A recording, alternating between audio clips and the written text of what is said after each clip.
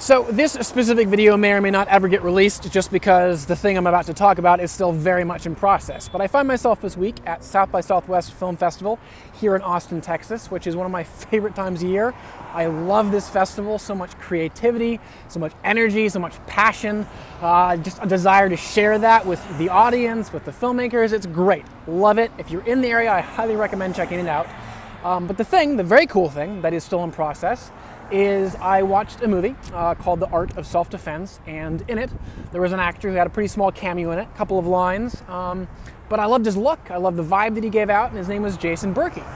Um, of course, I didn't know that when I saw him in the film. I just noted, hey, he's got a good look that maybe would actually be quite perfect for the lead character of Sam Watson in our film.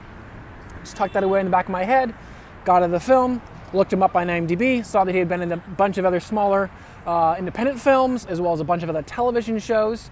And um, I just thought, man, this guy really does have the vibe that I think is just perfect for Sam Watson. And you know what? I'm just going to see if I can't get a hold of him. Um, and this is definitely not something that will always work with all actors uh, because every single actor is at a different place in their career. Uh, also, every single actor, like all humans, have different dispositions, one to the other, uh, and some of them might respond better to being um, kind of messaged directly than others. Uh, but nonetheless, just based upon kind of what I was seeing on Jason's website uh, and the kind of the personality that he was putting out uh, in that space, uh, my producer and I decided, you know what? Actually, maybe the best route to go with this specific actor is just to message him directly um, and try and communicate some of our personality in a way that hopefully he'll respond to. Uh, fortunately, um, I was also able to send him a link to the Kickstarter campaign video, uh, which kind of showcases some of the visual flair that we're wanting to put in our film, uh, as well as kind of a, a, little nice, concise articulation of what the project is about and why it's important to me as a writer and director. Um, so I was able to send that along with a, a, brief little message of who I was and, and what I was interested in uh, seeing from him.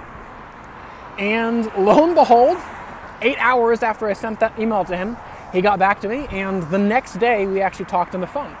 Um, and in that conversation, I basically just tried to communicate as simply as I could. This is who I am. This is what I'm about.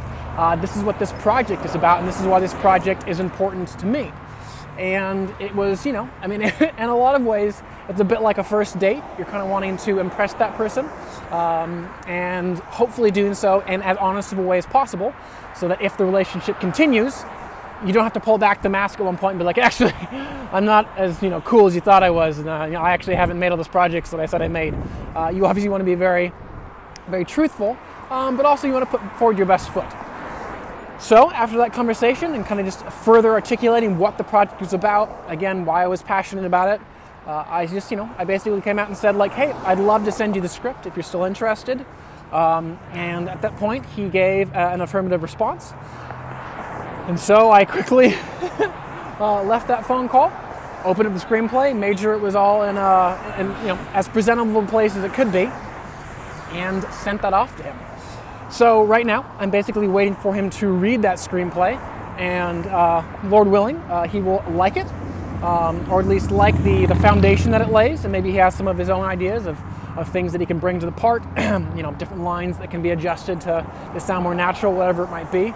Um, but hopefully it wins him over enough to, to move forwards. Um, and this will be obviously a continuing story. Um, obviously, if he says yes, there will be a lot more to do when it comes to contracts and it comes to figuring out schedules and payment and all that kind of stuff. And we'll definitely be talking about that. Uh, but the, the moral of the story is if you see something in a film, the cinematography, the acting, the production design, and it genuinely resonates with you, don't let that go because that's a great place to start when connecting with anyone in the industry. Um, because it's not just, I want to use you. Um, I appreciate what you've done and I want to collaborate with you because I like your voice, I like what I've seen you do, and I think you and I could actually do great things together. So we'll see what happens.